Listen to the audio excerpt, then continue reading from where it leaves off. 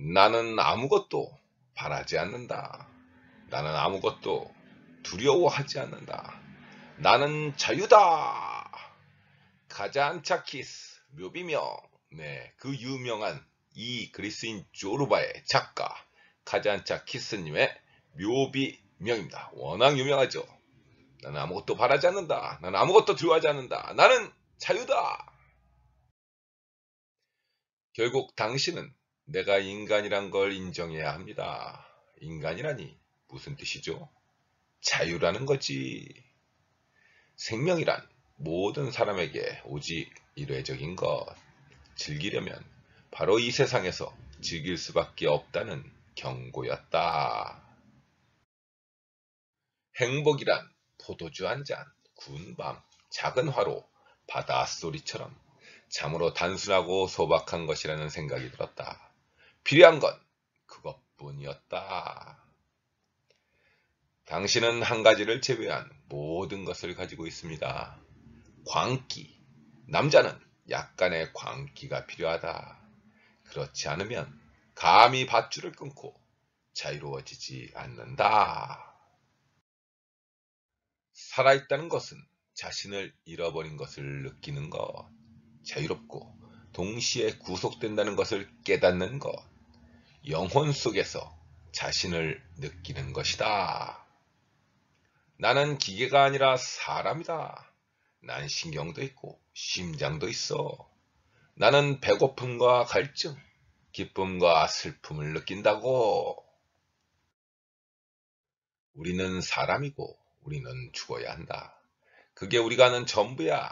하지만 우리가 죽어야 한다면 겁먹은 양들이 아니라 사람처럼 죽자. 바다를 두려워하지 않는 사람은 곧 익사할 것이다. 그는 나가서는 안 되는 날에 나갈 것이기 때문.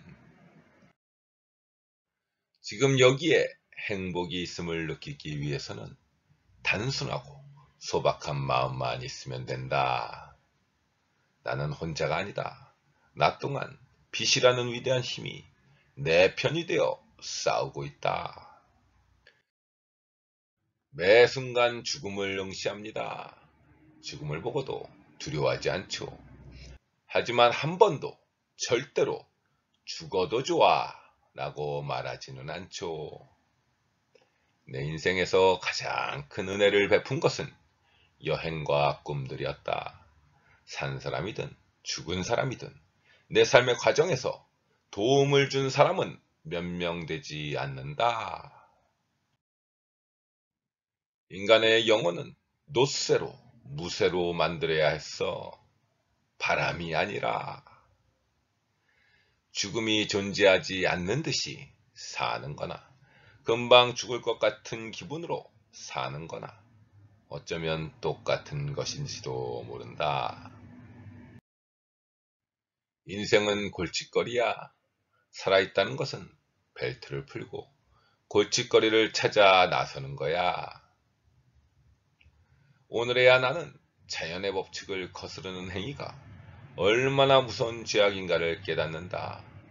서둘지 말고 안달하지도 말고 이 영원한 리듬에 충실하게 따라야 한다는 것을 안다. 외적으로 참패했을지라도 내적으로 승리자일 때 우리 인간은 말할 수 없는 긍지와 환희를 느낀다. 외적인 재앙이 지고의 행복으로 바뀌는 것이다. 육체란 짐을 진 짐승과 같아요. 육체를 먹이지 않으면 언젠가는 길바닥에다 영혼을 팽개치고 말 거라고요. 나는 어제 일어난 일을 생각하지 않는다. 내일 일어날 일을 자문하지도 않는다. 내게 중요한 것은 오늘 이 순간에 일어나는 일이다. 조르바는 내게 삶을 사랑하는 방법과 죽음을 두려워하지 않는 방법을 가르쳐 주었다. 나는 아무것도 바라지 않는다.